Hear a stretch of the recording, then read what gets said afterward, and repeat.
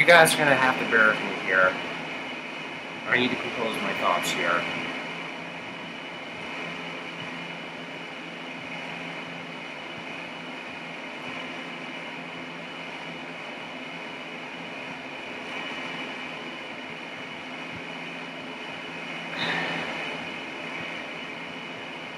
I'm just at a loss for words right now. Um, like, literally, I don't even know how to sum, sum this up in words right now.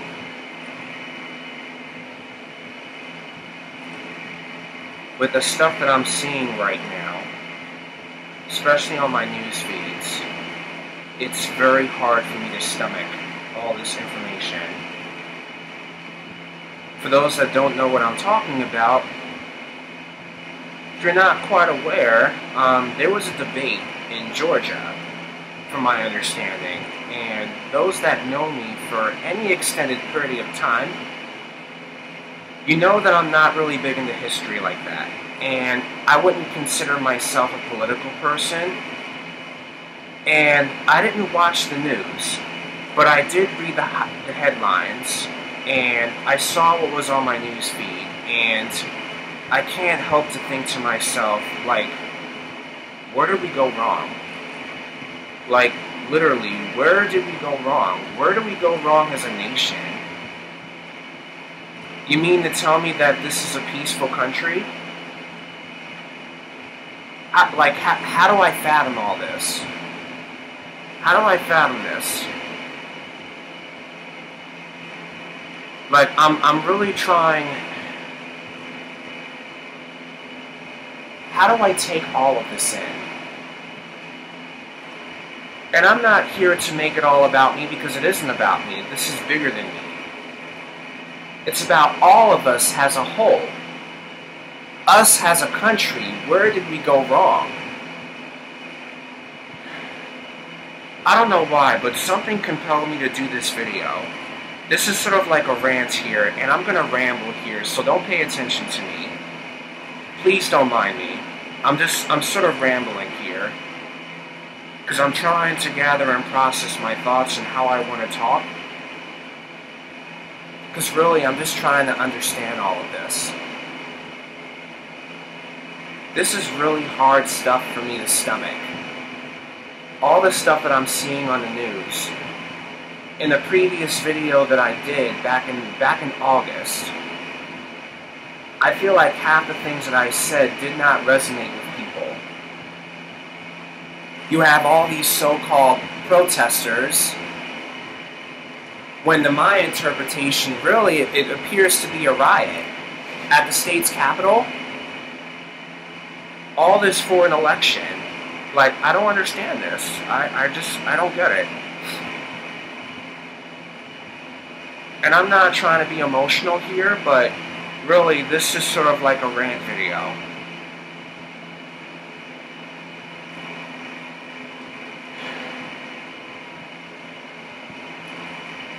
Talk about our country being over 240 years old.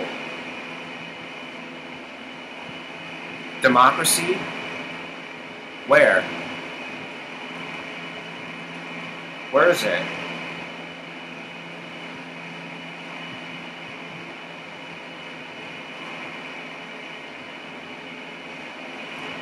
I'm like literally like I, I almost feel sick to my stomach right now. Just all this stuff that I'm seeing. This corruption, this chaos. So it's it's come down to it, hasn't it? it it's really come down to this.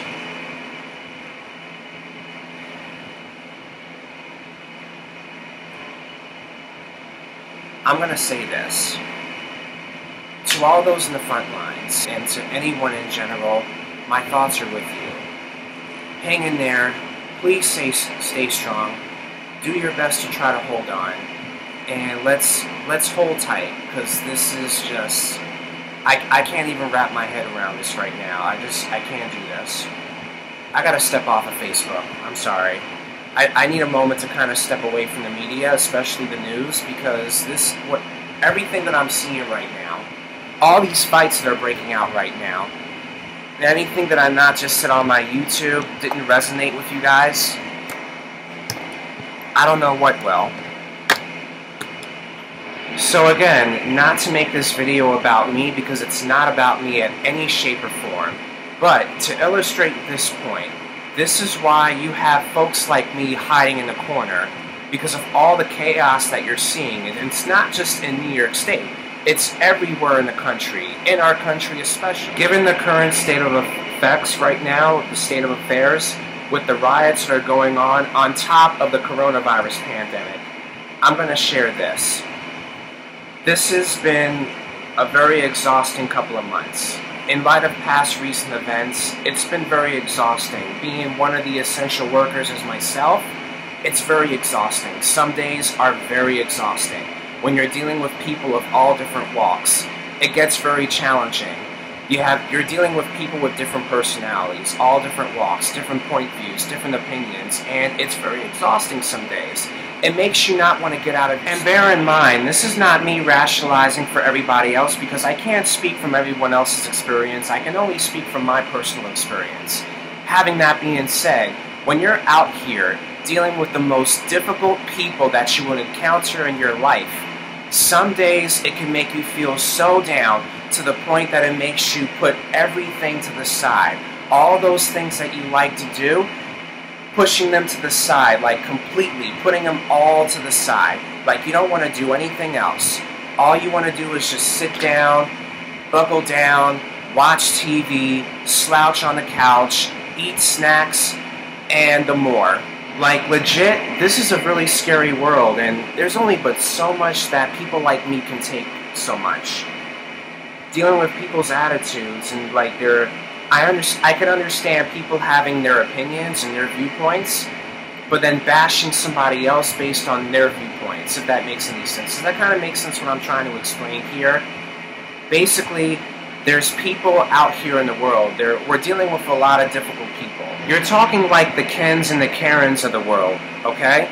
These people walk into the grocery store, or any discount store, really. They're very entitled. They expect everything to be handed to them. And truth of the matter is, that's not how, that's not the way things work around here. In order to get what we want in life, sometimes we have to work for the things that we actually like. Being able to maintain the space, for example. I know it's a little bit cluttered, but being able to maintain the space and all the belongings, it takes working some days to actually maintain this space. You have to constantly be on your feet working nonstop every single week.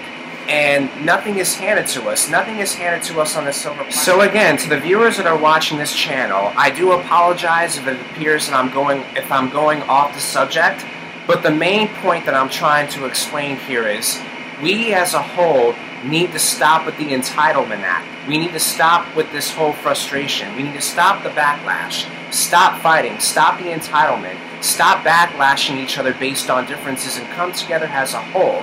Put the differences aside. Whatever beliefs that we have, we, there has to be some sort of mutual agreement. I said this in my past previous video back in August, but I don't think it resonates with some people because I try to break things down. I try to be very thorough about these things to the best of my ability, given the skills that I have been given, and it doesn't seem to be cracking through. But to the few that do take the time out, thank you for bearing with me and having the patience as I'm trying to process my thoughts based on what I'm seeing and what I'm reading on the news. This is heavy information. How a person or people could actually sit in front of the TV screen for hours watching the news is way beyond me. I don't know how you do it, but I commend you guys because for me, this is too much. I can't deal with it. This is part of the reasons why I have to stay out of the news. I can't even get myself to read the newspaper because it's just this madness going on. It's, it's chaotic. Like, we're all fighting based on color, all these things, all these beliefs about each other, when we're, at the end of the day, we're all human. We're all one race. We're one human race regardless of our difference of opinions and the way that we see each other, did my demonstration with the fruits and vegetables not crack through? I, I, I ask because, I mean, granted, yes, I'm not the most powerful speaker, but I try my best to be coherent in the best manner that I possibly can. And it gets very frustrating to do these kind of videos because it doesn't seem like I'm cracking through to folks. But in the process, I try to, on my end, I try to focus on the few people that do love me and the few people that do pay attention. So thank you to you guys. But for those of you that, you know, are watching this, I think most of us, and speaking for myself, we need to reflect on ourselves. We really need to use this time, especially for this year, to really sit down and to really reflect. Reflect on our actions and reflect on our thoughts and behaviors, because this is not a very good start to the year. Having said all of that, I will go on and state this. While it is true that there are most of us in the United States that are not built to fight or to go into the front lines or to do protesting or to join rallies and all these different things that you're seeing, while most of us are not always built for that, I believe in my heart that there are other ways to contribute. It doesn't always necessarily entail going in the front lines. There are ways to help. There are ways that we can make a difference. Being there for somebody, making a difference, like holding the door for somebody or handing a stranger a few extra change. You know, little acts of kindness. You'd be surprised how much those can go along. Making phone calls, texting, writing a letter, sending a card, calling, texting, all these different things that I'm listing right here. Just overall checking on each other, or even talking to strangers, even people that you may not know. Give them a compliment, something. Any little act of kindness goes a long way. It doesn't necessarily entail fighting. I know I know as far as defending our country, we have to do what's right for our country, but there are other ways that I'm listing. It doesn't necessarily entail. I'm not very big on violence. I've never been a very volatile person. You know, you see a person like me. Do you think I'm a person that's built to fight? You tell me, and, th- and those of you that know me for any longer periods of time, do you think I'm a person that's very volatile to everyone?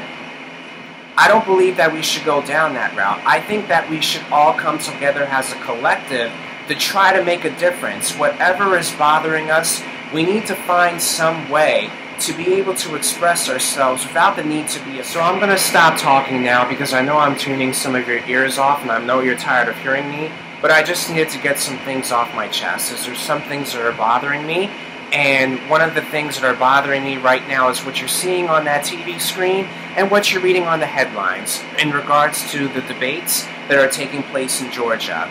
We have to get it. So I'll go ahead and conclude this video by saying this. Take some time off the media. Try to go to bed tonight with a good conscience. Wake up tomorrow smelling the coffee and trying to stay positive. Go out, try to be active, try to call a friend or text message, and just do something to take your mind off of this madness. It can be anything. Go for a bike ride, go for a hike, take a bus ride, do something.